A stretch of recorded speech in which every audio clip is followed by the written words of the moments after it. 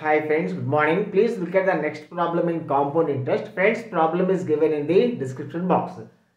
See friends, P1 into 1 plus R by 100, uh, this is the installment paid at the end of the first year.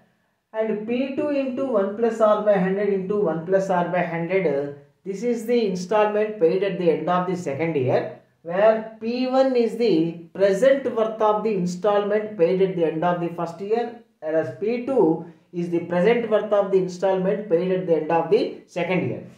Friends, these two installments are equal, equal annual installments. So this and this cancel. So now P1 is to P2, P1 is to P2 is equal to 1 plus R by 100.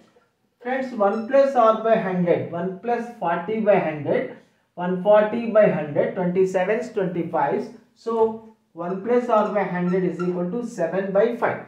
Friends, P1 is to P2 is equal to 7 by 5 and we know P1 plus P2 is equal to 1500. The sum of the present worths, the sum of the present worths that is the total amount to due is 1500. So now let us find P1. Let us divide 1500 in the ratio 7 is to 5 to get P1 and P2. So 1500 into 7 by 12 we get P1. 12 12s 144 12 5s so 8 700 725 125 175 so p1 is equal to 875 friends.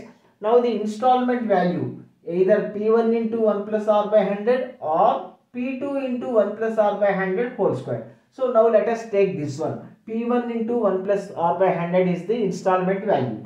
So p1 into 1 plus r by 100 5 17s 85 5 5s 7 5s 35 7 17s 119 plus 3 122 friends.